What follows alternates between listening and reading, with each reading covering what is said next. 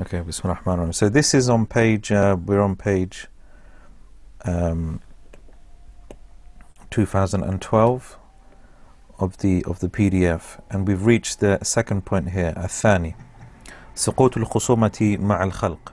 So here the author is speaking about the um, signs that a person has rida. And the first sign that we uh, spoke about we spoke about for a number of weeks, and that's when we said a person's state is the same, whether they're going through adversities or they are enjoying um, essentially the blessings of Allah subhanahu wa ta'ala. So their state is the same. They're essentially content in, in both situations. The second uh, sign here is the author Imam al-Harawi. Um, he says here, الثاني سقوط الخصومة مع الخلق. So this is Imam al-Harawi's words. سقوط الخصومة مع الخلق. So this is where a person stops uh, essentially having disputes disputes with creation. Now, uh, this is not something which isn't isn't absolute because obviously there are situations where it's fine, not where it's fine to have a dispute, but where where you will have a dispute with someone and you will take certain channels to um, to try to resolve those disputes either by going to a qadi, a judge or a, a court or a person of knowledge or an arbiter, etc. Uh, so we'll, we'll, we'll break this down inshallah. So he says, Imam Ibn al-Qayyim rahimahullah, يعني أن الرضا إنما يصح بسقوط الخصومة مع الخلق i.e. رضا becomes valid and correct when a person stops essentially having disputes of creation فإن الخصومة تنافي حال الرضا and this is because خصومة or being in a state of disputation with others it opposes the nature of رضا وتنافي نسبة الأشياء كلها إلى من بيده أزمنة القضاء والقدر and it also um, essentially negates attributing things to the one in whose hands lie control of fate um, so obviously, if you if if people understood that everything happens by the decree of Allah Subhanahu wa Taala, uh, and that fate lies in the hands of Allah Subhanahu wa Taala, then essentially a person would turn to Him in order to resolve one's disputes. Um, and so he goes on to say, فَفِي الْخُصُومَةِ آفَاتٌ And so you find in khusuma, you find many flaws and deficiencies with uh, khusum. Uh, one of the faults, one of the blemishes you can say, deficiencies, المنازعة التي تراد you know, falling into munaza'a, as we said, is another sort of synonym for disputation. You know, being in contention with other people, with other creation. That's something which opposes a of rida is an indication if a person is always in having disputes with people and they harbor ill feelings and grudges with other that's a sign of a lack of, of. A second afa or the second um, fold or flaw um, oh there's some difference of sound. Does sound okay everybody? Is it, was it maybe it's just the um, uh,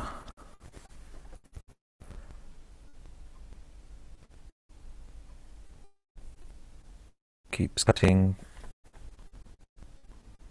Well, I don't understand this. Uh, it's been pretty bad. The sound is perfect. Um,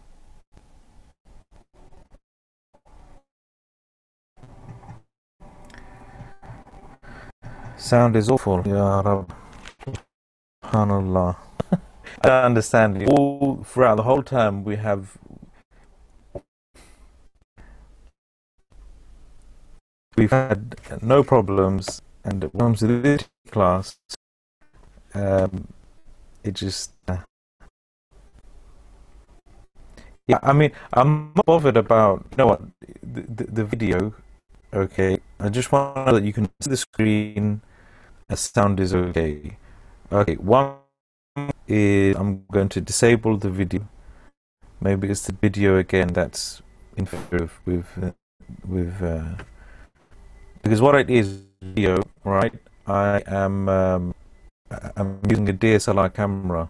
It's probably causing the problem. My normal webcam works terrible in these light conditions unless I have my normal light set up, which is difficult at the moment. So this is a temporary classes.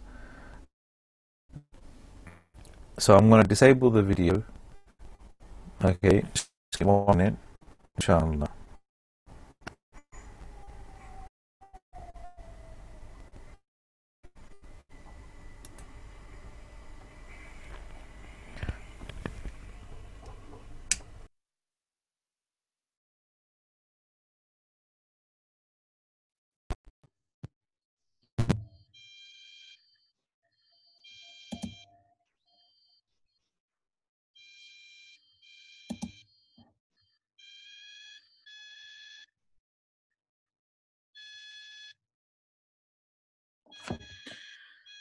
Right. Um, can everyone hear me now? The screeching sound of the trains. Uh, right. Okay. Let, let me just get my normal mic in. This sound is probably going to be quite poor because this is this is coming from the computer. I'll just put my normal. Uh,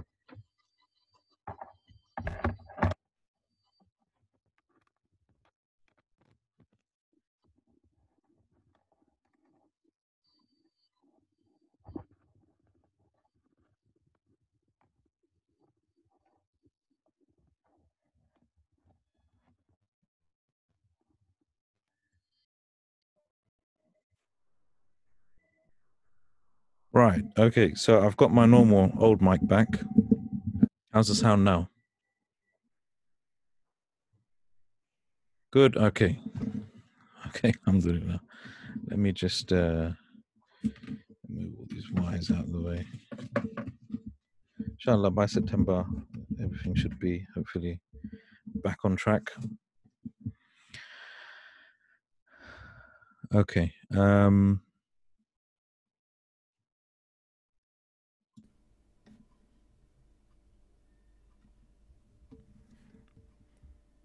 Okay, right. So there'll be no video today then. So just um, just just follow the sound and the and the shared screen, inshallah. Okay, so where were we? So the second uh, deficiency that he he mentions here, uh, نقص التوحيد, deficiency in tawheed بنسبة بنسبة ما يخاصم فيه إلى العبد دون الخالق. So there's a deficiency in one's tawheed by attributing ما يخاصم فيه, by attributing essentially the the matter of disputation to, to, to, to the servant rather than the creator. Meaning, when you have a dispute with someone, then you essentially try to resolve the matter with somebody else. You use a third party as I said, like a qadi or a judge, and you're not essentially referring to the creator. And again, this is a generic point. Okay, this is a generic point, and we're going to come back to this. The third deficiency or fault is نسيان الموجب والسبب الذي جر إلى الخصومة. The person forgets the thing or the cause which essentially brought one to the dispute in the first place, to the khusuma in the first place. فلو رجع العبد إلى السبب والموجب لكان اشتغاله بدفعه أجدى إليه وأنفع له من خصومة من جرى علي على يديه. So if the servant was to refer to the actual cause, then, you know, to the actual reason and the cause why he fell into dispute, then he would have been preoccupied with repelling the the thing that essentially led to um, the dispute in the first place. So that that's more beneficial than um, you know that's something which is more beneficial for that person to do. فإنه وإن كان ظالما فهو الذي سلط سلطه على نفسه بظلمه. So if he in fact was a wrongdoer himself, meaning the one who has a dispute with somebody else, he he he, he was a wrongdoer himself. فهو الذي سلطه على نفسه. And he is the one who essentially brought about the um, the disputation upon himself due to his own wrongdoing.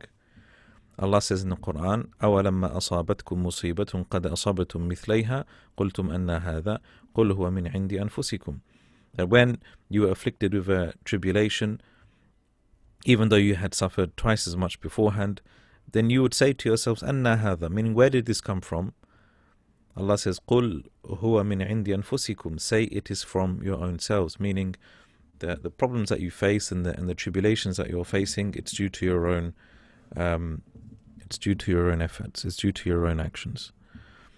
فأخبر أن أذى عدوهم لهم وغلبتهم بسبب ظلمهم. So Allah informed them that the the harm of their enemy uh, and their overpowering them is a result of their own dhulm. Allah says also, وَمَا أَصَابَكُم مِّن مُصِيبَةٍ فَبِمَا كَسَبَتْ أَيْدِيكُم Whatever afflicts you of, tribula- of tribulations, uh, then it's due to what your own hands have earned. وَيَعْفُ عَنْ كَثِيرٍ And He forgives much. So, and that's what you find most people, you know, when they fall into disputes with other people, they forget the the cause. They forget about their own wrongdoings. They forget about their own dhulm and that they can potentially be the cause for their problems. Um, people are quick to point fingers at others. فإذا اجتمعت بصيرة العبد على مشاهدة على مشاهدة القدر والتوحيد والحكمة والعدل and so if a person's insight um, was to essentially witness the the, the, the qadr and the tawheed and the wisdom and the justice in what Allah decrees. In sadda anhu bab al khusumat al khalq. In sadda means to, to sort of become blocked. So the door of disputations with creation would be closed basically. Illa, but this is the important caveat here. Illa fima kana haqqan lillahi wa rasuli. Except for that which was a right for Allah and His Messenger. Because you know, I'll be saying that, for example, if someone steals your wealth or someone murders a person, that you just say, yeah, let's be content with it and not, not raise a dispute with other people. No, that's not what he's saying here.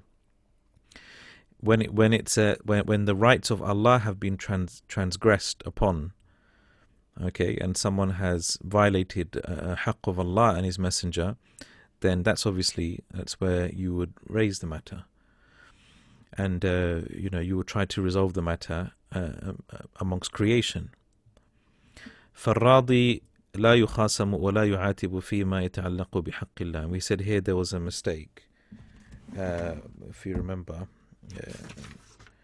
فالراضي that فالراضي لا يخاصم ولا يعاتب إلا فيما يتعلق بحق الله okay so إلا um, إلا إلا فيما يتعلق بحق الله. So there's an important word that's missing there. So the, the, the one who's content, okay, the one who is content, then, you know, he doesn't engage in disputes, he doesn't critique other people, except in that which is related to the rights of Allah. And this was وهذه كانت حالة رسول الله صلى الله عليه وسلم. This was the state of the Messenger صلى الله عليه وسلم. فإنه لم يكن يخاصم أحدا he would not go into and or he would not have uh, uh, disputes with other people ولا يعاتبه nor would he um, you know in, in, engage in uh, or he he wouldn't um, sort of criticize or critique other people إلا فيما كان maybe an, critique is not a good translation here um, إلا فيما يتعلق بحق الله except for that which is related to the rights of Allah subhanahu wa ta'ala كما أنه كان لا يغضب لنفسه just as the Messenger sallallahu alaihi wasallam kana la yaghdabu li nafsi. He wouldn't become angry over himself, over his own self, over his, uh, over, uh, over himself. Uh, meaning, if people were to, for example, assault him, or people were to uh, insult him and, and curse him, for example, he would just, you know, he, he, he just ignore it. Essentially, you know, he wouldn't make it and turn it into a matter of of dispute with other people. فإذا انتهكت محارم الله لم يقم لغد لم يقم لغضبه شيء حتى ينتقم لله but if the rights of Allah essentially were violated then that's essentially um, you know he would uh, uh, he, his anger would become apparent until you know he would um, take vengeance for Allah subhanahu wa ta'ala فالمخاصمة and so disputations with others لحظ النفس for, so mukhasama for your own interests. So falling into disputes for your own interests, your own personal gains over worldly matters, over issues which don't involve the right of Allah, don't involve um, uh, matters relating to the deen, etc.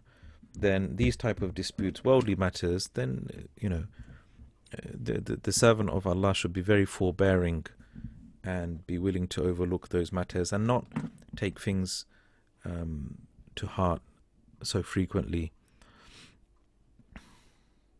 So this, he says, you know, when when people fall into disputes for their own personal interests, this تطفئ نور الرضا. This extinguishes the light of rida. وتذهب بهجته, and it also removes its splendor. وتبدل وتبدل بالمر وتبدل بالمرارة وتبدل بالمرارة حلاوته وتكدر صفوه. And so basically, you know, it, it spoils the sweetness of rida. so it's a it's a deficient state. So that's the second um, uh, um, the second sign of of rida. So that's important caveat really that we have to mention that um, you know, we, we a person who has rida, you'll find that they don't fall into disputes with other people very often. That's because they're content with what has been decreed.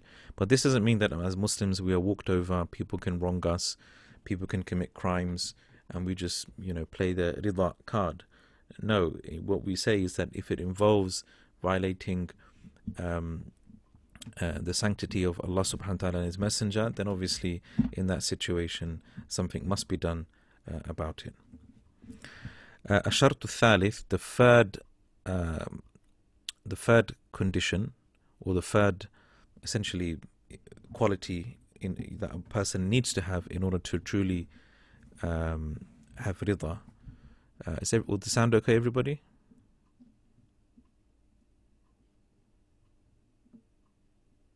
Yep, okay. الخلاص من من المسألة لهم والإلحاح uh, freeing oneself or or essentially freeing oneself from from asking people mas'ala here means like um, doesn't mean mas'ala as in uh, fiqhi mas'ala. This is the mas'ala of asking other people. Begging basically. So freeing oneself from begging other people wal ilhah and, and being persistent and insistent when when asking other people. And so in this section um, because this this uh, um, mas the, because the, the term mas'ala as as we will see what when Ibn Qayyim speaks it uh, explains it can be understood in two ways. It can be understood to mean begging and it can be understood to mean generally asking people for things. Right? So obviously they're two different things. I mean they they both are similar in the sense that you're asking somebody for something, but obviously begging is, is very particular.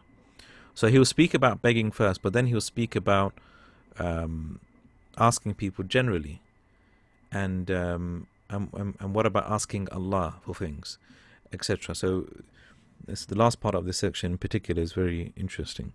So he says, وذلك لأن المسألة والإلحاح فيها ضرب من الخصومة and that is because asking other people, wal ilhah, begging other people, begging people and being insistent, then this is a darb min al khusuma. Then this is a type of disputation, which is quite interesting. Uh, wal munaza'a and challenging, wal muharaba and sort of muharaba is a very strong term. It's like when you go to a war with others. والرجوع عن عن عن مالك الضر والنفع إلى من لا يملك لنفسه ضرا ولا نفع إلا بربه and it's also sort of departing away الرجوع عن مالك الضر والنفع you're, you're essentially going back you're stepping away from the king of harm and benefit to to a person who cannot possess for himself any benefit or harm except through our Lord so, meaning that uh, when you beg somebody, you're essentially going to somebody for your own interest, or you're going to somebody to repel harm. And re- in reality, that is Allah subhanahu wa ta'ala. Allah subhanahu wa ta'ala is the one who possesses benefit, and He's the one who repels harm. Um, but how is it a type of, I mean, he says it's a type of khusuma and munaza and muharaba. Okay, and, and, and this is because when you're, you, when you're begging other people and you're asking other people, you're essentially asking them to give you something. It's as if to say, look, you need to give me something. Right? You need to give me something that, and and you're almost you know, it's he's not saying it, it is a disputation, but it's a type of disputation. Because when you have a dispute with someone, you're engaging with somebody else. You're demanding something from somebody else. You're demanding your right. Right? So when you're begging, you're also demanding something from somebody else. And that's why he says begging is a type of khusuma. The idea is basically with, with whether it's begging or disputing with somebody, you're engaging with the other party when you should be really engaging with Allah subhanahu wa ta'ala. That's the whole point.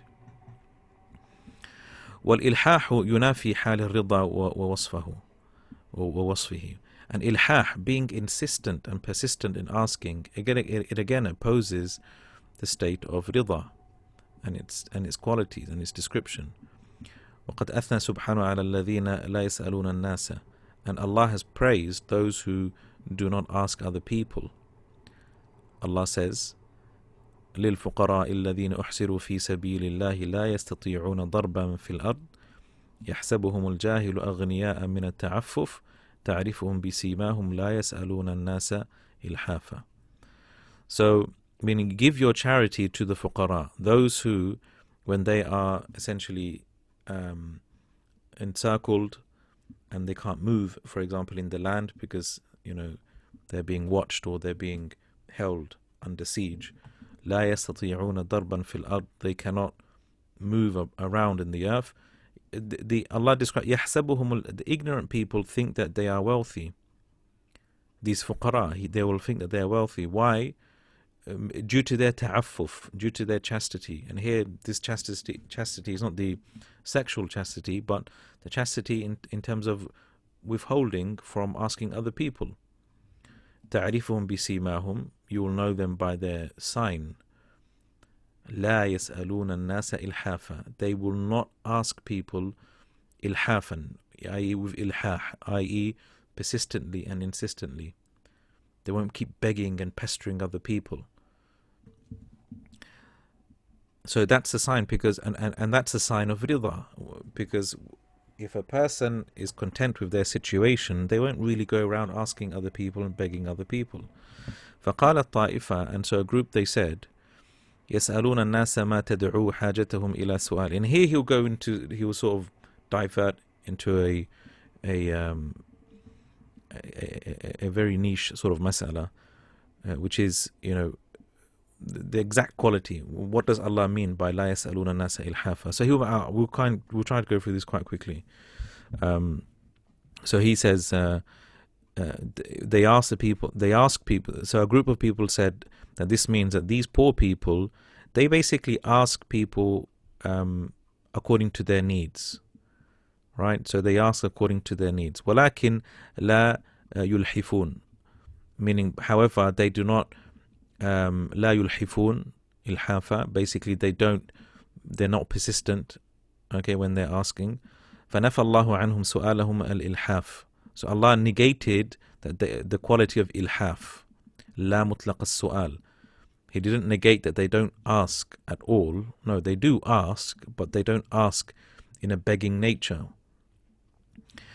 قال ابن عباس ابن عباس إذا كان عنده غداء لم يسأل لم يسأل عشاء that if he had, for example, lunch, lam yas'al ashan, he wouldn't ask anything for um, dinner. Right, so he has enough, basically. فإذا كان وإذا كان عنده عشاء لم يسأل غدا and if he had uh, dinner if he had food for dinner then he wouldn't ask for food for lunch okay so meaning he, they would only ask according to their level of need they would only ask for what they for what they needed uh, immediately.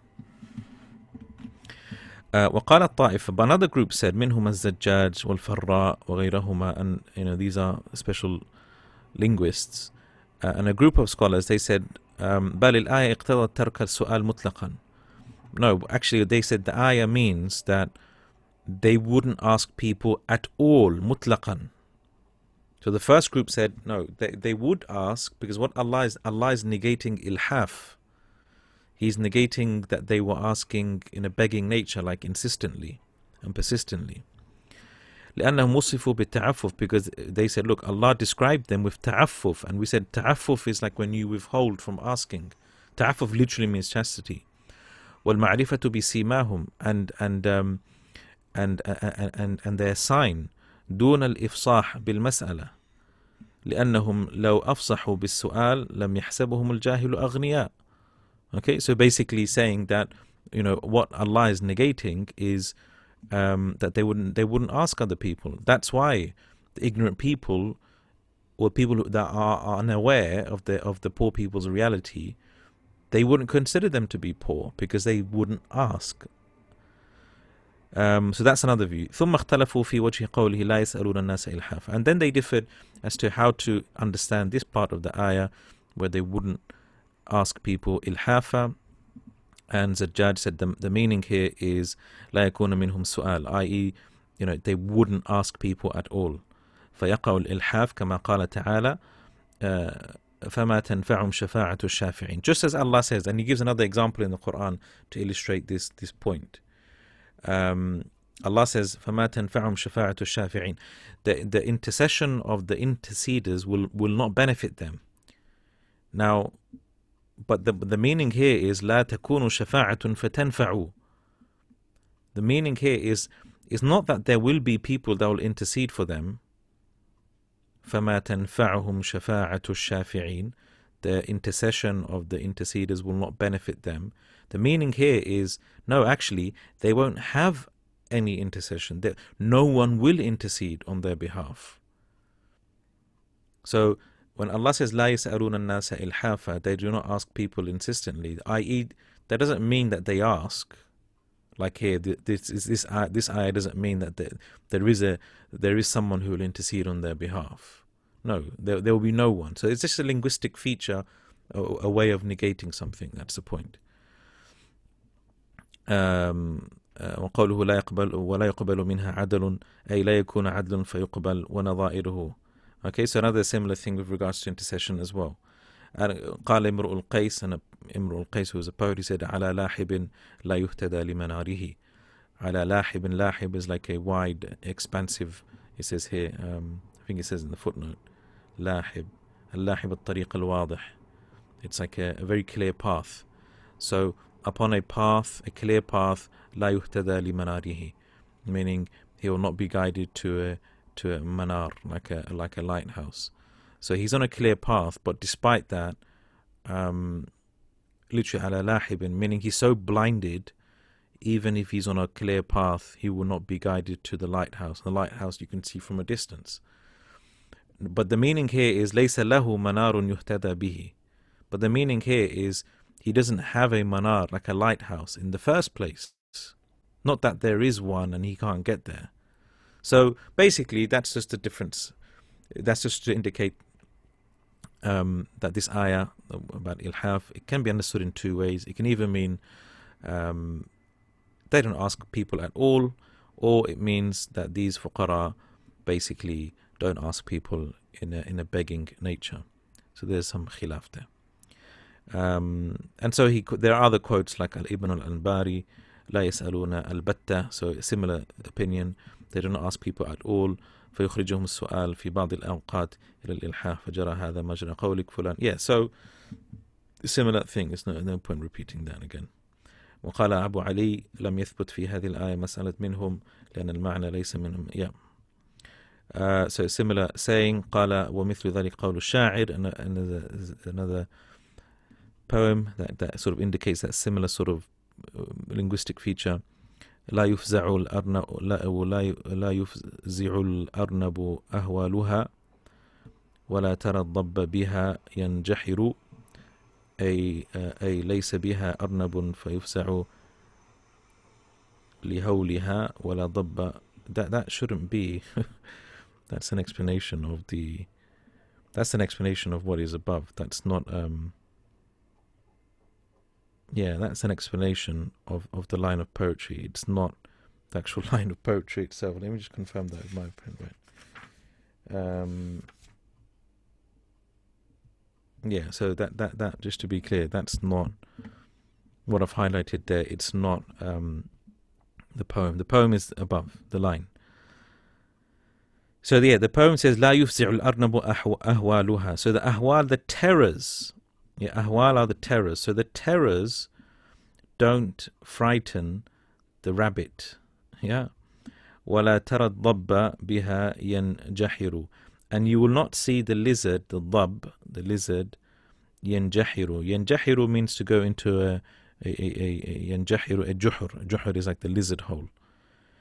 Um, so it, basically what it's saying is أي ليس بها أرنب فيفزع لهولها meaning فيفزع لهولها meaning the meaning here is there isn't a rabbit that will be frightened by its terrors and nor is there a lizard that will go into its hole now but the line of poetry actually says okay it actually says it, it makes it seem as though there is a rabbit but it doesn't sort of become scared due to the terrors so again it's another sort of linguistic feature but yeah, وقال الفراء نفى الإلحاح. Yeah, okay. So anyway, that's a side issue. I don't want to even. I think um, there was no need to go into that much detail.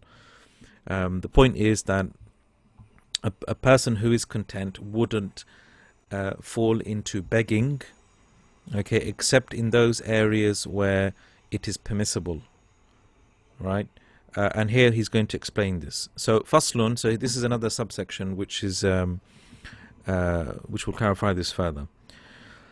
Um, والمسألة في so مسألة in this context he means begging so begging في الأصل حرام so begging in origin is haram وإنما أبيحت لحاجة والضرورة um, but however it is permissible due to a, a very strong need or a necessity لأنها ظلم في حق الربوبية لأنها ظلم في حق الربوبية because begging yeah لأنها yeah it is injustice with regards to Allah's rububiyyah okay now just hold that for a moment yeah he's saying so why is and this is the thing why is begging we all know that begging is haram but have we ever thought about why it is haram what's the reason why it's haram so here he's saying this is one reason okay so this is one reason ظلم في حق الربوبية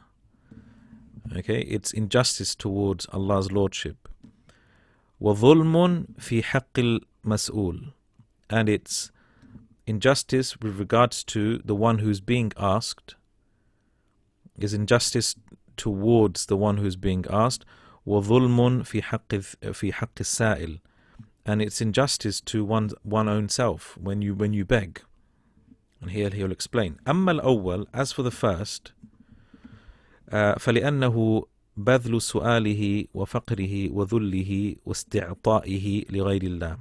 This is because it's injustice towards Allah's rububiyyah because a person is lowering himself and exhibiting his own poverty لغير الله to other than Allah subhanahu wa ta'ala. So when notice when, when people beg, look at their sort of demeanor and um, their, their body language. You know, they're sort of lowering themselves, cowering themselves in front of other people. Okay, and uh, you know that, that is like a state of khushu' they have in front of other people, and uh, and this is you know that's that's how a person should be with Allah, not in front of a not well, not with creation. وذلك نوع he says وذلك نوع نوع عبودية and so this is a type of عبودية It's a type of servitude. فوضع المسألة في ف فوضع فوضع المسألة في غير موضعها and so a person has you know placed something in its wrong place okay meaning that type of demeanor and attitude and psychological state that should be reserved for Allah subhanahu wa ta'ala وأنزلها بغير أهلها and he not only that the person has has exhibited those qualities um, to to the wrong people. should you know that should those qualities should be exhibited in front of Allah. وظلم توحيده وإخلاصه and it's the dhulm of Allah's tawheed and, and uh, ikhlas وفقره إلى Allah and one's poverty in front of Allah um, and also it negates again it's the, one's tawakkul uh, reliance upon Allah and being content ورضاه بقسمه being content with how Allah has apportioned His uh, provisions for creation واستغنى uh, واستغنى بسؤال الخلق عن مسألته and a person find self sufficiency by asking creation but not asking Allah. وَذَلِكَ كُلُّهُ هَضْمٌ مِنَ التَّوْحِيد And that's something which is essentially, you know, it's it's a, you know, it's a type of wrongdoing. You, you know, you're wronging the tawheed of Allah subhanahu wa ta'ala. وَيُطْفِئُ نُورَهُ وَيُضْعِفُ قُوَّتَهُ And it extinguishes the light of tawheed and it weakens its strength. And so that's one of the fundamental reasons why begging is haram because you're essentially exhibiting a type of servitude to creation. وأما ظلمه للمسؤول as for wronging the, the one who's being asked فلأنه سأل ما ليس عنده because you're usually you'll be asking people um, um, oh one second sorry I didn't see that question does the excessive amount of evidence provide uh, provide indicate that Ibn Qayyim shows it yeah I would say so yeah I would say that that's Ibn Qayyim's probably favored opinion, which is that um, that these poor people don't ask people at all. Um, so where were we? فأوجب نعم. So you're wronging a person by um, uh, essentially asking them that which they do not have. That's assuming that the person cannot give, right? So the person who's being asked, he, he, he can't give. فأوجب له بسؤاله عليه حقا لم يكن له عليه وعرضه لمشقة البذل and also you know you, you are because sometimes you often find people they ask in such a way you know they're asking the name of Allah like billahi alaykum you know I ask you in the name of Allah please you know give me. And so w- when you hear that you, you you you find it difficult not to give even though you know begging is not good. And you're exposing that person to to give something away أو لوم المنع and even the blame of, of not giving if so if a person يمنع you know he prevent or he denies or he doesn't give that poor person anything then he might be blamed فإن فإن أعطاه أعطاه على كراهة and if he so if he was to give he would give على كراهة you know in a way that he doesn't like it. He just feels like coerced to give. وإن منعه منعه على استحياء and um, and if he was to withhold from giving, he would withhold, uh, you know, with, with with with a sense of shame, with haya. Okay, often when you see when people beg, you know, you don't just like laugh in their face when you don't give them anything. You sort of turn away and you feel you feel very awkward. Okay, when people ask, Okay, and you've seen that. I mean, we've all seen that. We've probably all experienced it. Because something is telling you inside, you know, maybe you should help them, maybe you shouldn't. You're in two minds. And, you know, you, you look at yourself and you think, oh, look, you look how much I have and look how much that person has. So you feel very awkward. So by begging, you're putting people in a very difficult position. And as you know, as believers, we're meant to be um, empathetic towards other people's feelings. Now, I know that's maybe we should be feeling empathy towards the poor person as well. But then, but then again, you know, uh, you know, we shouldn't be assisting people in, in, in, in wrongdoing at the same time. So he said, هذا إذا سأله ما ليس عليه, and that's but that's only if a person wants to ask somebody um, something which is not a duty upon that person to give. Right? وأما إذا سأله حقا هو له عنده. As for asking somebody something which is a right for them to ask for. Okay, لم يدخل في ذلك, and this is not applicable. So if you've, for example, entrusted some of your belongings to somebody, right, and you know you you ask for it back, you say, "Can I have this back, please?" So you're asking them, and they're sort of like they're not really wanting to give it back, and so you become more insistent. And it's like, no, you you need to give it back. This belongs to me. Or you lent some money to somebody, and so you you'll sort of putting a bit of pressure on them to, to give it back. So that's different. Uh, so that you know, in that situation, you won't be wronging the another person by asking them. وَأَمَّا ظُلْمُهُ لِنَفْسِهِ As for being unjust to oneself uh, with this type of giving, uh, asking, sorry, um, فَإِنَّهُ أَرَاقَ مَاءَ وَجْهِهِ Then this person, literally, he will, you know, essentially shed his tears. وَظَلَّ لِغَيْرِ خَالِقِهِ He will lower himself in front of other than his creator. وأنزل نفسه أدنى المنزلتين and he will put himself in the lower of the two positions ورضي لها بأبخس الحالتين and he is content with the worst of the two situations meaning he's, he's content with begging rather than not begging ورضي بإسقاط شرف نفسه and he's content with essentially you know giving away his you know self dignity by by by begging وعزة تعففه and, and, and the honor of his تعفف of, uh, withholding from asking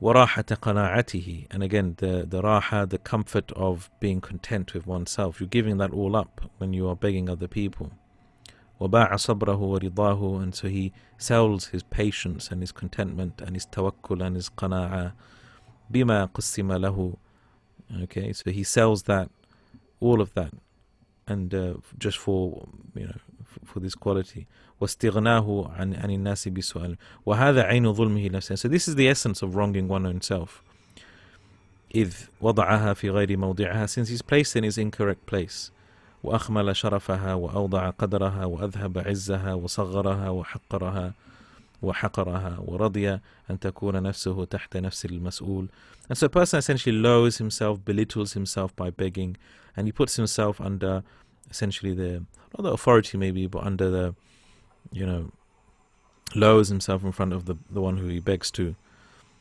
ولولا الضرورة لم يبح ذلك في الشرع and if it wasn't for a matter of necessity it wouldn't be permissible at all in the in the sharia so those are the three essential reasons why begging right it's something which is blameworthy eh, because of those three areas it's firstly it's um, it, it indicates a deficiency in one's tawheed it at and um, it uh, it wrongs the one who you are begging and you're also you know wronging yourself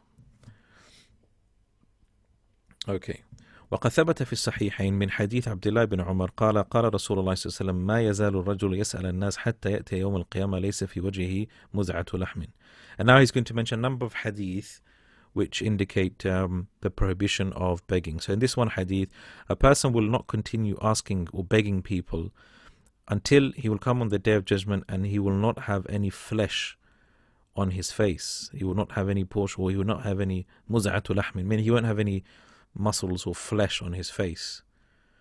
So he'll be his face will be like a skeleton on the day of judgment. And that's because he's removed all sense of nobility. As you know, nobility lies in a person's face.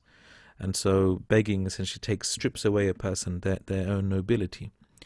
وفي صحيح, وفي صحيح مسلم and also another hadith قال رسول الله صلى الله عليه وسلم من سأل الناس أموالهم تكثرا فإنما يسأل جمرا فليستقل أو ليستكثر and so whoever asks, begs people from for, for their wealth, whoever begs people begs people for their wealth, takathuran, in order just to accumulate their own wealth. So, you know, these are like fake beggars in the sense that, you know, they only this is their this is the way they make their living through begging. In, in reality, what they're asking for is jamr, and jamr are like the, the you know the, the, the fuel or the stones or the fire um, فليستقل أو ليستكثر and this is obviously so let him ask a little or let him ask much meaning you know do whatever you want to do basically so this, that's a warning that that's obviously to, to indicate it's permissible وفي الصحيحين عن أبي هريرة رضي الله عنه and likewise in the صحيحين the Prophet ﷺ said والذي نفسي بيدي بيده لأن يأخذ أحدكم حبله فيحتطب على ظهره خير له من أن يأتي رجلا فيسأله أعطاه أو منعه you know for a person to um, to take a like some string or some ropes and to carry wood on his back meaning to go into to, you know to do some sort of menial labor work that's better for him than to go to than to beg a man okay and then to beg a man أعطاه أو منعه and then and whether he was to give him or whether he was to withhold from giving him So it's better for that you, you do like um, you know hard labor work than, than than to than to beg other people and to be dependent upon other people financially. Um, another hadith, you know, for أن يغدو أحدكم again very similar. Uh, another hadith which is very similar in meaning, and here, but then, then it says, and that is because ذلك بأن اليد العليا أفضل من اليد السفلى. That is because the upper hand, اليد العليا, uh, أفضل من اليد السفلى. The upper hand is better than the lower hand.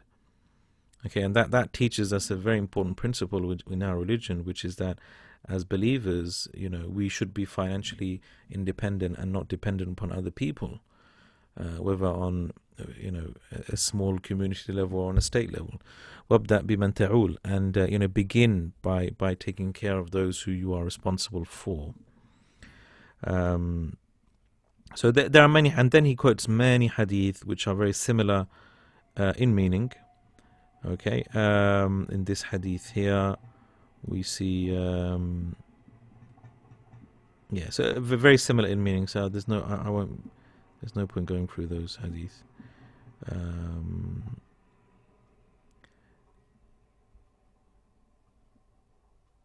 okay, th- this hadith here. Let's read this hadith. It says that أن um, أن أناسا من the group of people from the Ansar, they asked the Messenger sallallahu alaihi wasallam, meaning for like money, for wealth. فأعطاهم, and so he gave to them. ثم سألوه فأعطاهم, and then he asked them again, and they and, and he gave to them. ثم سألوه فأعطاهم, and then he gave again. He kept on giving to them. حتى نفد ما عنده, until he basically everything he had had become depleted. So he said to them, حين أنفق كل شيء بيده so he said to them after he had completely given out everything, ما يكون عندي من خير فلن أدخره عنكم. Whatever I, I have of wealth, um, I, I, will not store it away from you. I won't hide it away from you. But then he says, ومن يستعف ومن يستعفف يعفه الله. يعفه الله. That whoever seeks chastity in terms of wealth, meaning whoever tries to be, you know, tries to withhold, okay, from asking Allah subhanahu wa ta'ala will give him yu'iffuhullah. Allah will give him the, essentially that ability to be more independent and, and not dependent on others. وَمَنْ يَتَصَبَّرْ يُصَبِّرُهُ اللَّهِ And whoever takes that ext- extenuous effort to um, to become patient, right? So you you make the effort to try and have self-restraint and be patient. يُصَبِّرُهُ اللَّهِ Allah will give him sabr. وَمَا أُعْتِيَ أَحَدٌ عَطَاءً خَيْرًا وأوسع من الصبر and a person has cannot be given a gift which is better and more vast than sabr and that's a beautiful hadith that indicates the virtue of sabr uh, and وعن عبد الله بن عمر another hadith as well um, okay it's very similar in meaning um, uh, this hadith is a beautiful hadith as well وعن حكيم بن حزام قال سألت الرسول صلى الله عليه وسلم so Hakim ibn Hizam he said I asked the messenger for some wealth and he gave to me and then I asked him and then he gave to me then he said يا يا حكيم إن هذا المال خضرة حلوة he said you know this wealth خضرة حلوة you know it's green and it's sweet you know he's trying to it's obviously this type of metaphor to indicate how pleasing and pleasurable wealth is فمن أخذه بسخاوة نفس بورك له فيه and so whoever takes this wealth بسخاوة نفس sakhawa is when a person is uh,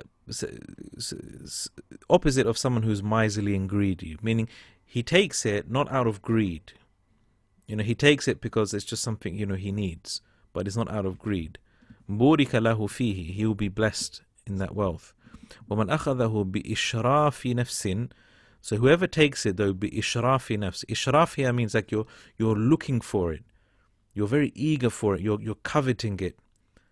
Okay, lam yubarik lahu fihi. Then Allah will not bless him in that wealth. وكان الذي يأكل لا يشبع ولا يشبع and he will whatever he eats يأكل ولا يشبع يعني you know he will never be content he will never be full واليد العليا خير من يد السفلى and the upper hand is better than the lower hand and then he said, look at what Hakim said. قال حكيم فقلت يا رسول الله والذي بعثك بالحق لا أرزأ أحدا بعدك شيئا حتى أفارق الدنيا He said, O Messenger of Allah, verily by the one who has sent you with the truth, I will not uh, أرزأ basically I will not um, deprive anyone. And this is a very interesting statement to make. Many because when you ask other people, you're taking something away from them. So he's saying, I will not deprive anyone of anything from their own wealth after after this حتى أفارق الدنيا until I leave the world. Okay, because when you ask someone for wealth in particular, you are depriving them from their you know partially of the or from their own wealth. وكان أبو بكر يدعو حكيما إلى العطاء. And Abu Bakr, he used to, uh, in, you know, call Hakim and إلى العطاء. You know, when they had like war booty and they were give, you know, distributing out uh, wealth. فيأبى أن يقبله منه and but he would refuse Abu Bakr you know he would refuse Hakim would refuse taking any wealth from anybody ثم إن عمر رضي الله عنه عمر used to do the same thing دعاه ليعطيه فأبى أن يقبل منه شيئا again he would refuse فقال عمر then Umar said إني أشهدكم يا معشر المسلمين يا معشر المسلمين he said said I, I make you all you know O assembly of Muslims I make you all bear witness على حكيم regarding حكيم إني أعرض عليه حقه look I'm, I'm, I'm giving him I'm offering him his right من هذا الفي from this like war booty فيأبى أن يأخذه and he refuses to take it because he doesn't want it to be said that you know Umar didn't give uh, Hakim his his due rights فلم يرزق حكيم أحدا من الناس بعد رسول الله صلى الله عليه وسلم حتى توفي متفقون على صحته so he never asked anyone for anything subhanallah until he died and uh, that was the quality of Hakim ibn Hizam rahimahullah radiallahu anhu um, and um, yeah and then this hadith here وعن شعبي قال حدثني كاتب المغيرة بن شعبة قال قال كتب معاوية معاوية he wrote to المغيرة بن شعبة أن اكتب إلي شيئا سمعته من رسول الله write to write something to me that you heard from the messenger صلى الله عليه وسلم like write me a hadith that you might have heard from the messenger فكتب إليه so he wrote to him and he said سمعت النبي صلى الله عليه وسلم يقول I heard the messenger say إن الله كره لكم ثلاثا Allah dislikes of from from you three things قيل وقال you know he said this or this this was said and he was said just spreading rumors and gossip وإضاعة المال and wasting wealth وكثرة السؤال and excessive asking رواه البخاري ومسلم so here كثرة السؤال I mean he's in this context I mean, we usually understand it to mean um, asking people questions but it can also mean asking people of their belongings asking people for their wealth as well it can also mean that وعن معاوية لا تلحفوا في المسألة فوالله لا يسأل أحد منكم شيئا فتخرج له مسألة مني شيئا وأنا كان في بأنيهم so again these are all hadith which are similar in meaning um, um, yeah so let's see one second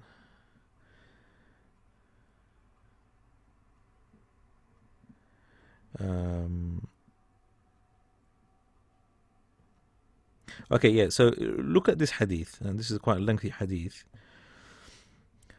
Uh, وعن أبي مسلم الخولاني رضي الله عنه قال حدثنا حميم So he said, uh, this companion, so قال كنا عند رسول الله صلى الله عليه وسلم تسعة أو ثمانين أو سبعة. There was, there was a group of companions, nine or eight or seven of us, فقال, and so he said to us, ألا تبايعون رسول الله meaning he, he said to them, Will you not give your pledge of allegiance to the Messenger of Allah? And and he said, وَكُنَّ حَدِيثِ عَهْدِي بِبَيْعَةٍ And so we were very new basically to, you know, Islam and to this concept of giving bay'ah. Um, فقلنا, and so we said, قَدْ بَايَعْنَاكَ يَا رَسُولَ اللَّهِ That we have, indeed we have given our pledge of allegiance to you. But then he said again, أَلَا تُبَايِعُونَ رَسُولَ اللَّهِ Will you not um, give your pledge of allegiance to the Messenger of Allah. And so again, we replied, قَدْ بَايَعْنَاكَ يَا رَسُولَ اللَّهِ We have given our pledge of allegiance to you. And then he repeated it for another time. So, فَبَسَطْنَا أَيْدِينَا So that we extended out our hands. وَقُلْنَا Ya Rasulullah, you know, we, you know, okay, we have given our pledge of allegiance to you. فَعَلَى مَا نُبَيِّعُكَ So, look, you know, we've given out our, our hands. So, what should we give our pledge of allegiance to you for? قال أن تعبد الله ولا تشرك به شيئا that you worship Allah and do not associate any partners with Him and you pray your five daily prayers وتطيع um, uh, وتطيع and that you are obedient to your to your leaders okay وأسر كلمة خفية that you كلمة uh, خفية that you uh, basically you know keep to your secrets okay oh sorry no وأسر كلمة خفية so uh, وأسر كلمة خفية and then he said very quietly as if like he wanted them to hear this in particular وأسر كلمة خفية ولا تسألون الناس شيئا and that you do not ask anyone for anything so this was a group of companions a small group of companions right um, and then فلقد رأيت بعض أولئك النفر and so the Rawi the narrator of the hadith he said I saw a group of some of these uh, the, the, a group of some of these companions يسقط صوت أحدهم that one of them like a whip of theirs would fall on the ground فما يسأل أحدا يناول يناوله إياه and, and they would not ask another person to help them to that degree that was reported by Sahih Muslim so they wouldn't ask anyone for anything forget about wealth even helping them they wouldn't ask other people so that's a very high degree, and that's not something that the Prophet ﷺ requested from from everyone. Right? He didn't request this from uh, from everyone. Uh, was Hakim related to Khadija? Um, Wallahu alam. I'm not sure. Uh, وعن سمرة بن جندب رضي الله عنه قال قال another hadith um, إن المسألة كد يكد بها الرجل وجهه like begging is it's like you're, you're toiling you're you're really sort of lowering yourself um, and uh, you know you're sort of abasing your your, your own self إلا أن يسأل الرجل سلطانا unless a man was to ask the sultan the leader because when you ask the leader you're essentially asking for your rights so as, as we mentioned before asking for your rights there's nothing wrong with that أو في أمر لا بد منه unless a person asks for something which is absolutely essential meaning if you've basically you know it's a matter of life and death or it's a it's an absolute necessity so in those situations we know it's allowed um, you know and there, there's a hadith here that mentions um, the, the circumstances where it's allowed so but otherwise you know it's only really allowed when when um, as we said, uh, if it's a matter of urgency, necessity, like you've all of your wealth has become became destroyed, you know, your house burnt down, and so you need to ask other people for financial assistance in that matter. So that's that's considered okay. Um, okay, so these are the hadith have all sort of conveyed similar meanings. Um, we can move on, I think. Um,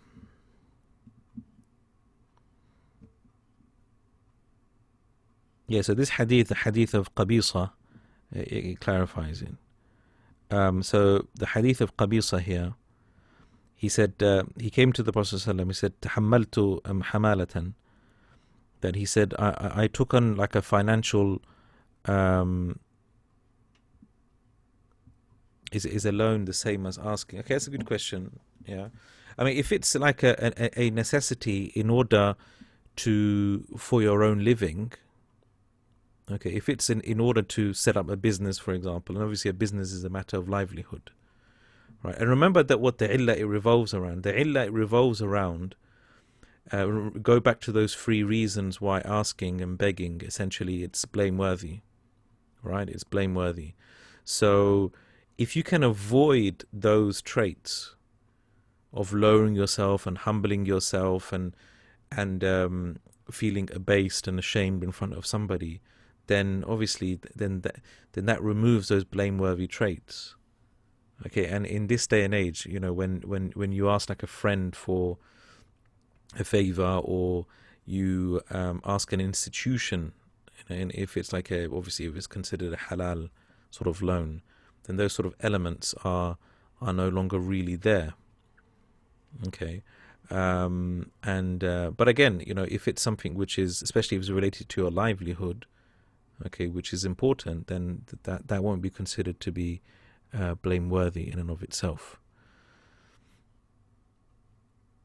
And uh, yeah, so the, so the question that Bilal asked, so would there be a distinction between asking for a loan from an individual and asking for an institution established specifically for loans?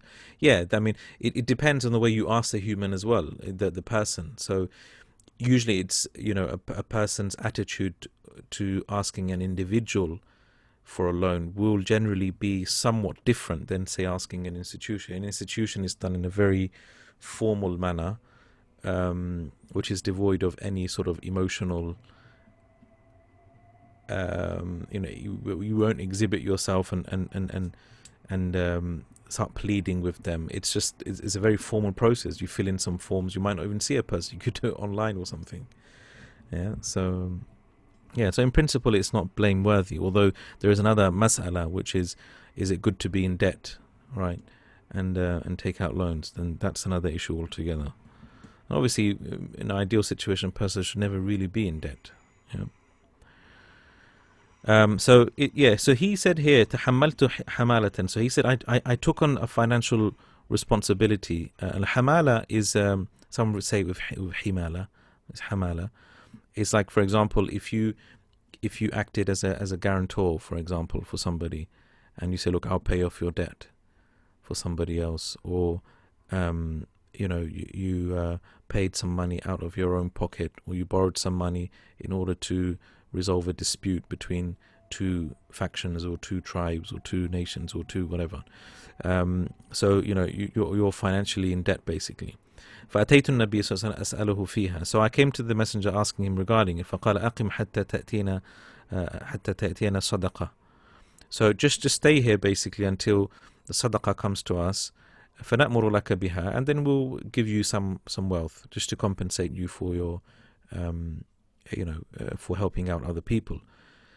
قال ثم قال but then he said يا قبيصة or قبيصة إن المسألة لا تحل إلا لأحد ثلاث that you know asking basically begging is not permissible except in three occasions رجل تحمل حمالة as, as you did a man who takes on a financial um, responsibility for somebody else uh, فحلت له المسألة then in that situation it's permissible to ask uh, you know, to be compensated حتى يصيبها ثم يمسك and then you know until you get what you've basically until you're covered and then you will withhold from asking for more ورجل أصابته جائحة اجتاحت ماله and then a man who is afflicted with a جائحة like a sudden calamity that struck all of his wealth like if it was land and, and like crops if it was like a sudden calamity like terrible weather or there was weather that completely destroyed uh, your crops and belongings فحلت له المسألة then in that situation you can ask حتى يصيب قواما من عيش until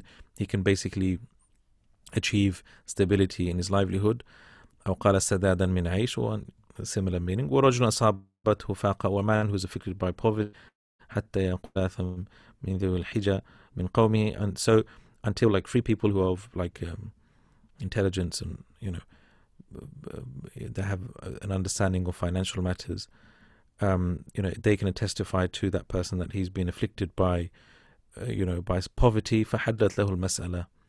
Then it will be permissible for him to ask until he, you know, achieves some sort of stability in his life. As for that, فما سواهن من المسألة يا قبيصة سحت يأكلها صاحبها سحتا. then it's a type of suht, which is an invalid or impermissible. Other than these three reasons, and it's an impermissible form of asking basically, and uh, it's considered to be suht, which is like a, a haram means of of um, maintaining yourself, right, or financially and, and, and, and with regards to your food. Um, right. Yeah, so the other hadith are all very. So the rest are just again all hadith about begging, okay, and why it's impermissible. Um, yeah, so I think we can. I think we, we've we've established why it's bad and why it's uh, blameworthy. Um, now here, th- th- this is where it gets interesting. Okay, now by the way, I'm not going to take a break because I will probably just go on until about just past eleven o'clock, uh, inshallah. Okay, so I hope that's okay with everyone. Um, so he says, فها now this is where it gets important, uh, where it's important. فهذا أحد المعنيين في قوله إن من شروط الرضا ترك الإلحاح في المسألة. He said this is one of the meanings, pay attention, this is one of the two meanings of, of Imam al-Harawi saying that from the conditions of rida is to leave asking or to leave off begging. Because remember we said mas'ala itself. Because mas'ala, what does mas'ala mean? Mas'ala means asking. But remember we said mas'ala, what is it? it can also mean begging. So, you know, what did Imam al-Harawi mean? Did he mean asking people? Did he did he even mean asking Allah for things? Which goes back to the a question that a lot of us were, were, were, we were talking about. We still haven't really covered it in as much detail as I would like to. You know, how do we understand rida vis-a-vis, you know, dua, right? Because you know there are hadith that say you should ask Allah for everything, even if it's the you know the breaking of a strap of your shoe or your shoelaces. Uh, but then you're meant to be content with your own sort of situation. So where do you draw the line? Okay, so you know what does he mean here? From min, min shurutir rida tarkul ilhah. It's to leave off asking. Now, so he said, Imam Ibn Qayyim, this is one of the meanings, i.e., what he means here is that you don't beg other people. وهو أليق المعنيين and he said this is probably the more أليق المعنيين وأولاهما this is probably the more more preferred of the two one of the two meanings okay why because لأنه قرنه بترك الخصومة مع الخلق because he um, he, he he juxtaposed it with uh, leaving off dispute disputes with creation so so obviously he's mentioned leaving off disputations with other people as a sign of rida, and so not asking other people, right? So for that reason, he thinks that's what most likely what he means. فلا يخاصمه في حقي ولا يطلب منهم حقوقه. So you know you're not asking other people for their things and rights, etc. Uh, but then he goes on to say, والمعنى الثاني. But the second possible meaning for Imam al-Harawi saying أنه لا يلح في الدعاء Okay, so pay attention to this, and this is probably the most important part of today's lesson. Um, that he is not insistent in his own du'as. Right now, again, there are hadith that talk about ilhah. There are hadith that talk about, you know, begging Allah Subhanahu wa Taala, being insistent, repeating the du'as, etc. Right. So keep that to the back of your mind for now. Okay, so أنه so what it means is that لا يلح في الدعاء ويبالغ فيه and a, a person doesn't become excessive in their asking in their du'as فإن ذلك يقدح في رضاه because that basically tarnishes one's رضا وهذا يصح من وجه دون وجه now he said this is valid in one way okay but maybe not in another way دون وجه so from one perspective okay, this is a, a good trait not to have. فيصح إذا كان الداعي so it's valid and correct إذا كان الداعي يلح في الدعاء بأغراضه وحظوظه العاجلة This is correct I, if the da'i is being insistent in his du'as for aghrad for his own personal interests, worldly interests, ajila, like immediate worldly interests. So you're begging Allah for worldly interests. وأما إذا ألح على الله في سؤاله ما فيه رضاه والقرب منه فإن ذلك لا يقضح في مقام الرضا أصلا. But if he was to be insistent and persistent in asking Allah in matters which pertain to his pleasure and draw closer uh, matters that draw closer uh, one closer to Allah, then that does not tarnish one's station of rida at all in origin, aslan. Okay, so we need to distinguish between the types of dua that you make. So, وفي الأثر إن الله يحب الملحين في الدعاء and this is the hadith Allah loves those who are mulihin in dua. Allah loves those who are sort of insistent and persistent in their dua. That, that's the meaning. So you're asking Allah for Allah's maghfirah, for His forgiveness, for paradise, for Him to uh, be pleased with you, for, for Him to grant you guidance and knowledge and tawfiq. Be, have ilhah in those matters. Right? But if you keep asking just purely worldly things, then this from this argument, okay, is that you know this is a sign of lack of rida. It's not saying it's haram. It's not saying it's wrong, because remember to have rida is not wajib, right? Um, maybe it, it, it, it, will be valid as a form of dua. Okay, we're not saying it's wrong. It won't be sinful, but it you know a person won't be on the level of rida. That's the point. وقال أبو بكر الصديق رضي الله عنه Abu Bakr رضي الله عنه he said يوم بدر on the day of Badr للنبي يا رسول الله قد ألححت على ربك يا رسول الله you have remember when the Prophet made dua he raised his hands really high until his cloak fell off his shoulders so قد ألححت على ربك meaning you've really made dua like insistently كفاك بعض كفاك بعض مناشدتك يعني you know just a part of your munashada meaning just of you know, your dua is sufficient. Your basic dua is sufficient. لربك. But then he says, فهذا الإلحاح عين العبودية. But then he said, this type of ilhah, it's the essence of servitude. Right? And he will see why. We will see why. وفي سنن ابن ماجه أن سنن ابن ماجه حديث أبو هريرة قال رسول الله صلى الله عليه وسلم من لم يسأل الله يغضب عليه The one who doesn't ask Allah, Allah will become angry with him. So again, this is important hadith because, you know, especially with regards to this question that we were all asking, that you know, if we're meant to be content with what Allah has decreed for us, then why should we ask Allah for anything? Right? But then you have this hadith like this: "Man lam yas'alillah yaghdab alayh." The one who um, doesn't ask Allah, then Allah is angry with him. So how do we understand that in light of this hadith? He says here um, sorry. Uh, فإذا كان سؤاله يرضيه لم يكن الإلحاح فيه منافع لرضاه.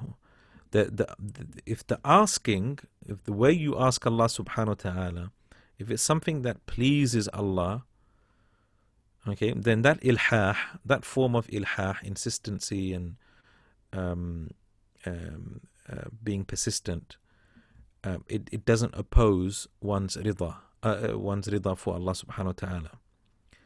So he'll explain. وحقيقة الرضا موافقته سبحانه في رضاه.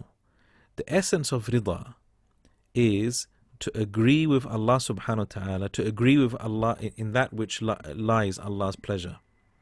بل الذي ينافي الرضا In fact, the thing that opposes rida أن يلح عليه that a person is insistent upon Allah subhanahu wa ta'ala متحكما عليه متخيرا عليه because when you're insistent and persistent in asking Allah uh, for asking something from Allah subhanahu wa ta'ala you're متحكما عليه it's like you're the one who's deciding you're متخي you're the one who's choosing what's best for you ما لم يعلم that which you don't really know right هل يرضيه أم لا you don't even know whether that thing, that thing will really really please Allah or not كمن يلح على ربه في ولاية شخص like a person who this is very interesting um, who who is insistent in, in, in asking Allah fi wilayati shakhs. Right? Aw ighna'ihi. Now this is right, meaning being persistent in asking Allah to make so and so basically a leader or to rid yourself from a particular ruler because you don't know whether that person will really bring about Allah's ridla or not.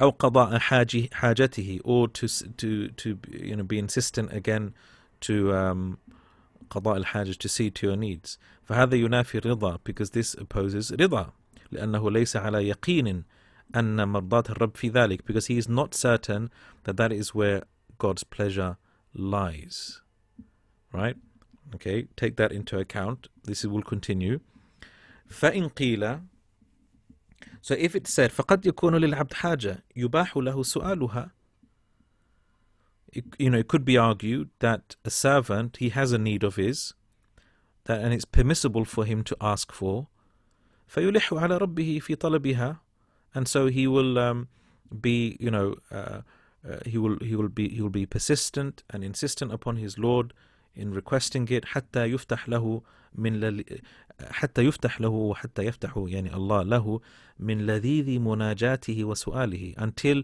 essentially um, the pleasure that is found in asking Allah subhanahu wa ta'ala uh, becomes open to that person والذل بين يديه وتملقه and where a person sort of abases himself in front of Allah okay والتوسل إليه بأسماء وصفاته and a person draws closer to Allah through his names and attributes وتوحيده والتفريغ القلب له and a person empties their heart for Allah as a result of this dua وعدم تعلقه في حاجته بغيره and a person you know by calling upon Allah he is no longer dependent upon anybody else he's dependent upon Allah ما لم يحصل له بدون الإلحاح and you know that you know that spiritual those spiritual states of of lowering oneself and abasing oneself cannot happen except with that type of asking Allah with that ilhah when you're really insistent and you're begging Allah and you're persistent in your asking فهل يكره له هذا الإلحاح So is this type of ilhah disliked وإن كان المطلوب حظا من حظوظه even though the matlub, the thing that he is asking for, is like of a, of a worldly nature. Right? Now, so here he says, and this is very important, as I said, you know, pay attention to these points. قيل ها هنا ثلاثة أمور. If anything you walk away with today's lesson is these three points. Remember these three these three points very carefully. So here are three things you must remember with regards to this question. Right? Because here he set up a scenario that look, you might have okay a worldly need, but that worldly need that you have, right? You're so desperate for it that you you you know you lower yourself in front of Allah. You become so dependent upon Allah. You, in fact, in you know you become spiritually closer to Allah through your through through you begging Him, and lowering yourself and making du'a and prostration, etc. So you know what do we say about this? Is this good? Is it bad? Is it blameworthy? Is it is, it, is there any deficiency in that? So he says the following Three things to remember أحدها. أن يفنى بمطلوبه وحاجته عن مراده ورضاه عنه. ويجعل الرب ويجعل الرب وسيلة إلى مطلوبه. بحيث يكون أهم إليه بحيث يكون أهم أهم إليه منه فهذا ينافي كمال الرضا به وعنه. That this person yafna bi matlubi, meaning he becomes this term fana. Okay, he doesn't mean it in the spiritual term fana of oblivion, but a person becomes so like infatuated with their matlub, the thing that they want, that they're asking Allah for. But that becomes they're, they're infatuated with that more than they are with Allah's pleasure and what Allah wants from that person and they make Allah, this is important, they make Allah ويجعل الرب وسيلة إلى مطلوبه. They make Allah a means, a means to their desired goal. Right? So, you know, you're begging Allah for something, right? But Allah is just a means for you. It's not the goal. It's just, Allah has just become a means by which you, you know, want to attain something. It's like when you really want to go a place, you have to get the ticket for it. All right, you need the ticket for it. So you go to the ticket, you know, salesman, and you sort of but you're buying it and you're bartering with the salesman to get that, you know, to so you can get to your destination. So you're basically using the salesman as a means. All right. So some people engage like that with Allah. Allah becomes just a means. Allah doesn't become the goal. So bihaithu such that the the matlub your goal becomes more important than allah itself than Allah Himself. That your goal becomes more important than Allah Himself. فهذا ينافي كمال الرضا به وعنه. Then this clearly opposes. Um, uh, there's a there's a letter missing here. Should be kam, kamal, right? So kamal al-rida bihi. So this opposes the, the, the um, you know the the state of rida, the perfect state of of rida, the perfection of rida. The second point to remember. So this was the first point the second point now. Um, أن يفتح أن أن أن يفتح على حاله على قلبه حال السؤال من معرفته ومحبته والذل له والخضوع والتملق ما ينسيه حاجته that when the person makes a dua when he makes a dua حال السؤال whilst he's begging Allah certain things become more apparent to him. He becomes more cognizant of Allah. His love for Allah increases. وَالذُّلَّهُ He abases himself. وَالْخُدُوع his, his submission to Allah. All of that increases through his dua, which makes him forget his need in the first place. مَا يُنْسِيهِ حَاجَتُهُ It makes him forget his need in the first place. ويكون ما فتح له من ذلك أحب إليه من حاجته سبحان الله to the extent that that which has opened up for him in terms of um, of abasement and lowering oneself and submissiveness in front of Allah subhanahu wa ta'ala, that becomes more beloved to him than the actual need that he has. بحيث يحب أن تدوم له تلك الحال to the degree that he would actually prefer that his state like that remains where he is without that thing that he asks for. Why? Because this is the, the, the reason, it's because of this state that he has be, become closer to Allah. وتكون آثر عنده آثر عنده من من حاجته and that is more preferred to him than his need itself وفرحه بها أعظم من فرحه بحاجته and the happiness and the, the, the delight that he gets from the state that he is in of begging Allah and asking Allah that brings him more happiness than his worldly need لو عجلت له وفاته ذلك فهذا فهذا لا ينافي رضا This type of dua does not oppose rida. This second type of dua doesn't oppose rida.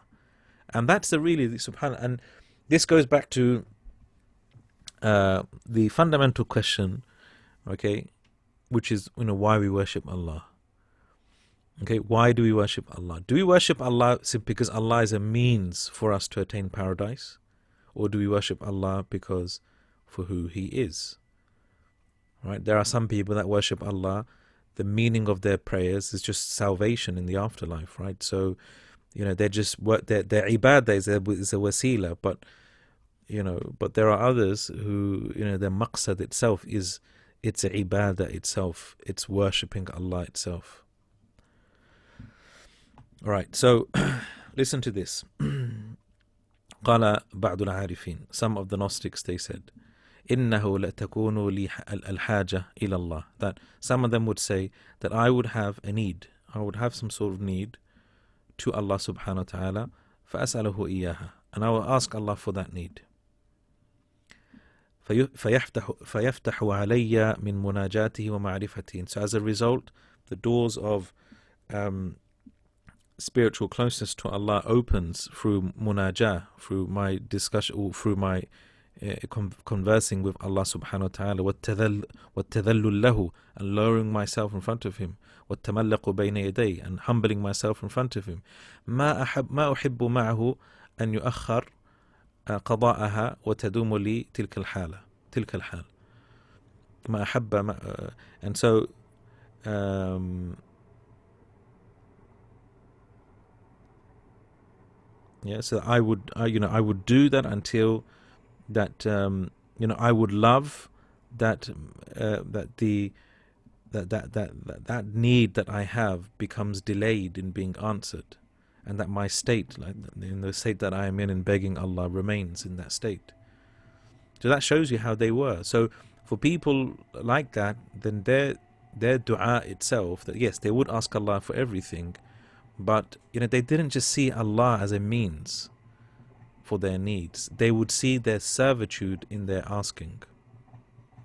Right? They would that was their goal. Their goal was to attain servitude in their asking it wasn't just for the goal itself, for the for the need itself, but for Allah subhanahu wa ta'ala. وفي أثر um, إن العبد ليدعو ربه and in a, in a narration it says إن العبد ليدعو ربه that a servant he will call upon his Lord فيقول and فيقول الله لملائكته and Allah will say to his angels اقضوا حاجة عبدي وأخروها so, uh, fulfill, fulfill the needs of my servant. Fulfill the needs of my servant. But then he says, وَأَخِّرُوهَا And then, but, but delay it. Why? فإني أحب أن أسمع دعاءه because I love hearing his dua. ويدعوه آخر and another person will call upon Allah and Allah will say لملائكته اقضوا حاجته وَعَجِّلُوهَا لَهُ Fulfill the need of my servant and be quick in doing so. فَإِنِّي أَكْرَهُ صَوْتَهُ Because I dislike his, his voice. I dislike hearing him. Because what's the difference between the two? One just merely uses Allah as a means. Okay? And just you know, you just ask, you just turn to Allah when you're in desperate need. When this person has no love for Allah subhanahu wa ta'ala in his heart, finds no pleasure in, in engaging with Allah in dua and remembering Him. So this person is essentially using Allah. Likewise us as human beings. There are some people, you know, the only reason why they call you, yeah, is because they want something from you. They don't really value your friendship. They don't really value who you are and, and what have you. They don't have much love for you. They know you, but you you know that they are calling you because they have a need that only you can fulfill. Do we like listening to such people? Do we like entertaining such people? You know, we we don't. Okay. وقد روى الترمذي okay uh, وقد روى الترمذي و, و, و and and that's you know that the, obviously there's a hadith you know there's a famous saying or the line of poetry um, uh, that um, Ibn Adam you know if the son of Adam if you were to ask him he gets upset but if you were to ask Allah he would not become upset. And if you were not to ask Allah, he would become upset, right? So that's true, okay? That's also true. But again, you know, remember um, the, the difference between the first state and the second state. And it's narrated in a, in, in a hadith in a Tirmidhi, إِنَّ اللَّهَ يُحِبُّ أَن يُسْأَلْ Allah subhanahu wa ta'ala loves to be asked وأفضل العبادة انتظار الفرج and um, and the best uh, form of worship is intidar al-farj, is waiting for the for the, for the relief. Um, وروي أيضا من حديث أبي هريرة and it's also reported in حديث أبو هريرة من سره أن يستجيب أن يستجيب الله أن يستجيب الله له عند الشدائد فليكثر من الدعاء في الرخاء that whoever will be pleased to for Allah to ask his du'as in times of difficulty then let him make dua, let him make plenty of dua in times of ease, because that's an indication that the person um, doesn't engage with Allah purely for need. Okay, the famous hadith, تعرف ila الله في الرخاء يعرفك في الشدة. Know Allah in times of ease, Allah will know you in times of difficulty. Why? Because if you know Allah in times of ease, then that's a true indication that you truly love Allah. It's an indication that you don't use Allah as a means to fulfill your needs. You have a genuine relationship with Allah subhanahu wa ta'ala. Another hadith as well. ليسأل أحدكم ربه حاجته حتى يسأل الملح وحتى يسأل شثع نعله إذا انقطع. And this is the hadith. That will let one of you call upon your Lord, ask your Lord, even if it's asking for salt or asking for the strap of his shoe when when it when, when it when it rips or when it breaks. Okay, so you ask Allah, that's the issue, but the real issue is what is the state of the heart? وفيه أيضا عن ابن عمر رضي الله عنه قال رسول الله صلى الله عليه وسلم ما سئل الله شيء أحب إليه من أن يسأل العافية وإن الدعاء لا ينفع مما نزل ومما لم ينزل. فعليكم عباد الله بالدعاء. In hadith uh, no one Allah has not been asked anything more beloved to him than asking for afia uh, you know being in a state of well-being. وإن الدعاء لا ينفع. dua will benefit a person from from those things which have been sent down in terms of tribulations and those things which haven't been sent down so you know it is upon you O servants of Allah to make dua فإذا كان هذا محبة الرب تعالى للدعاء فلا ينافي لحاح في الرضا so therefore if if this is the love of Allah for dua then clearly being insistent in asking Allah does not oppose rida but you have to uh, remember the the different states of a person when they are making dua what's you know what they what they're really intending and then finally uh, and and and ينقطع طمعه عن الخلق the third thing to remember is that a person should um, you know withhold or from having any hope with with creation um, meaning don't be dependent upon creation ويتعلق بربه في طلب حاجة then he should be dependent upon his Lord when seeing to his needs قد أفرده بالطلب أفرده بالطلب a person should single him out with his requests لا يلوي على ما وراء ذلك فهذا قد تنشأ له المصلحة من نفس الطلب وإفراد الرب بالقصد so in this situation that's when it benefits a person okay when they're dependent upon their Lord and they single out Allah in their asking والفرق بينه وبين الذي قبله أن ذلك قد فتح عليه بما هو أحب إليه من حاجته فهو لا يبالي بفواتها بعد ظفره بما فتح عليه وبالله التوفيق and so um, the, the difference between the third group okay so this is the, the third state when, when you completely sever off your sort of um, dependent dependency with with creation, right? And the second state. Um, the difference here is, as he mentions, uh, أن ذلك قد فتح عليه بما هو أحب إليه من حاجته.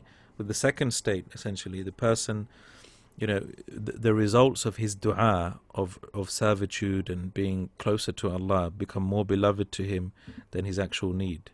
فهو لا يبالي بفواتها so he, he doesn't care whether he doesn't end up getting what he asks for okay because due to what he has attained from the spiritual closeness to Allah that's the difference وبالله التوفيق and in with through Allah lies success and that ends that section and that's where we will stop for today inshallah let me just um, look at your questions inshallah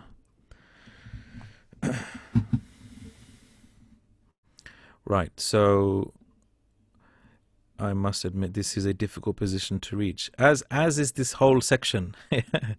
Remember, this whole section is not an easy. Rida is, is there's a reason why it's not binding upon everybody. Yeah.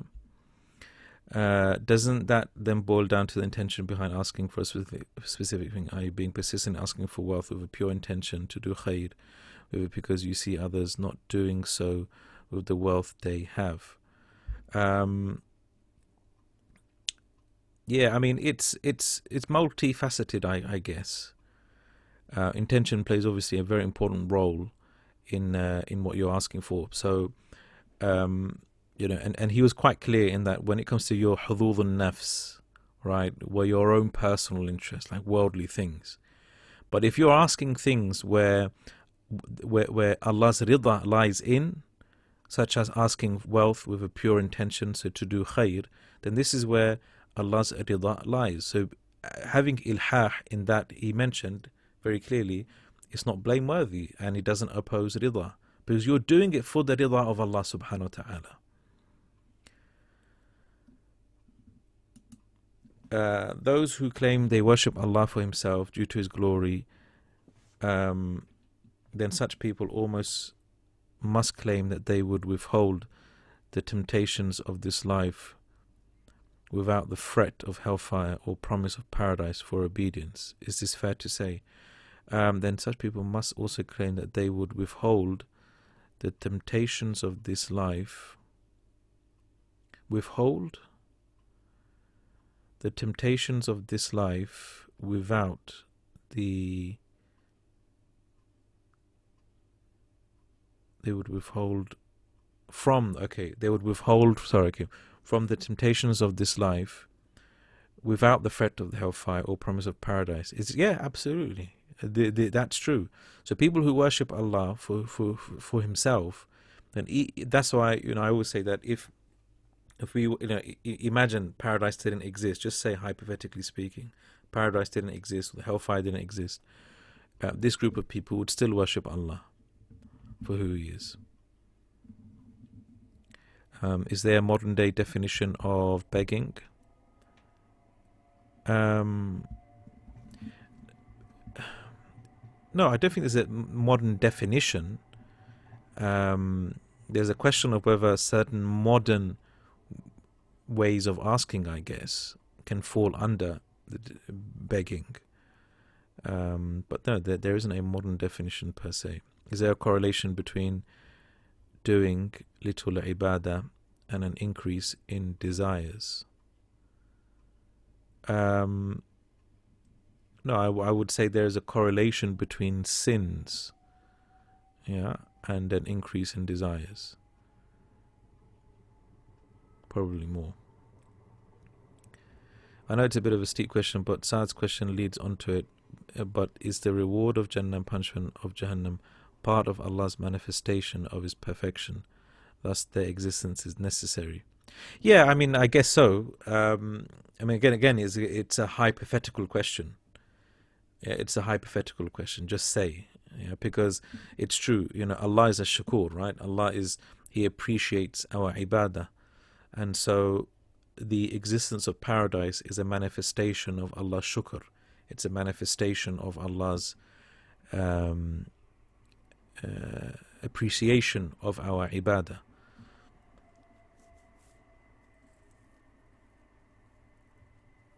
Perhaps the ten Sahaba guaranteed paradise would be such people. I would say so.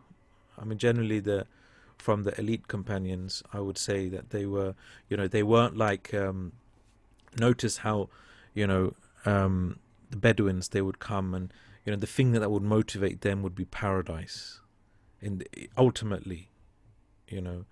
And so that's why they said, yeah, you know, if I was to just establish the prayers, just pray five times a day, give my zakat, you know, do sawm, you know, would I enter paradise? He said, yes. If if if you were to do that and be truthful in that, so that indicates that, you know, they weren't interested in the aspect of maximizing their ibadah to please Allah, to be closer to Him. They ultimately just wanted to get into paradise which is not bad, which is a great thing. I mean, we, we should all desire to go into paradise, yeah, and it's a good thing. It's a good quality to have. Um, but you don't you don't find that that type of attitude um, with with uh, a lot of the, the, the sort of more maybe senior and, and more well known companions. Wallahu alam.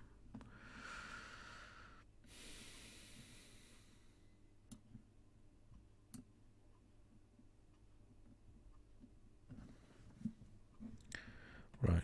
Okay. Um, by the way, when I was when I'm sharing the screen, is it does it fill the whole screen up, or have you noticed that the screen is smaller? It fills it up. Okay, good. The whole screen, good, good. Because what what, what I'm doing now, I'm using um, I'm actually using an iPad to to annotate. So, um, so alhamdulillah, it's worked well today in in the sense that, um, uh, yeah. So I, I'm not a hizbi, so I don't mind. I mean, I got, I've, I've got an iMac as well, so um, yeah. So the the later iPads that you, you can use the Apple Pencil, so it, it's it's been a better experience to be honest, annotating with an iPad. Um, have you started classes in the masjid? No, none of the masajid. I think they're doing any classes. Yeah, it was very blue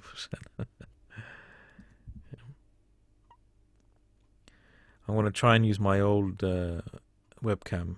Uh, see, uh, if I can get it the settings right, I'll use that from next week, inshallah. So I think um, we'll be able to actually finish next week. I think we just need one more. Let me just see. Um, yeah, look, that's it. That's all that's left. We can we can finish next week. We only have a few pages left. Technically, if we did the two full hours, we probably could have done it today, but I don't have time. I need to go somewhere. Um, so yeah, alhamdulillah, we will finish next week. That's sad. Yeah, I mean it's um, you know I, I definitely want to go come back to this book and teach some chapters from it in the future. Um, perhaps inshallah when we finish maybe Mukhtasar Minhaj al-Qasidin um, this will be the next book to go through inshallah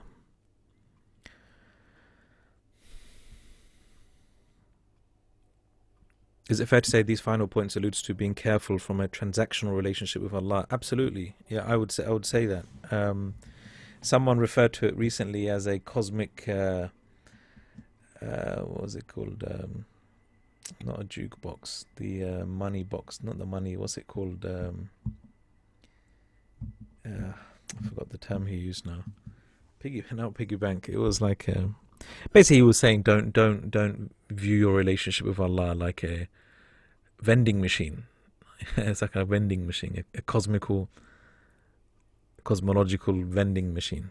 Your hasanat, your, your hasanat, and that's an attitude you find like a fruit machine. Yeah, it's an attitude you find amongst a lot of. Um, you know, you find, and again, it's not wrong Okay, it's not wrong where you know you want to accumulate hasanat. Everyone wants to accumulate hasanat, but again, for what reason? Like like some people like you know always talk about hasanat, like I'm doing this for ajr for hasanat. But why though? What what's your reason? Now, if it's just to attain ajr in the afterlife, just just to, to just to maximize bliss in paradise, again that's permissible. It's not wrong, but ultimately we should be trying to aim higher. وَرِضْوَانٌ مِّنَ اللَّهِ أَكْبَرُ you know, seeking God's pleasure is, is greater. Yeah.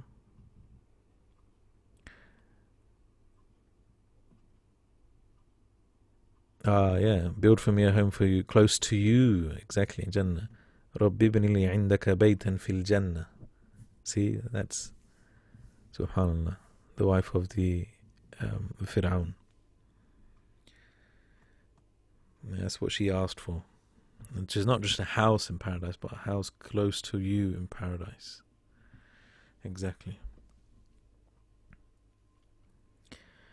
Okay, inshallah, I think we will uh, stop there for today.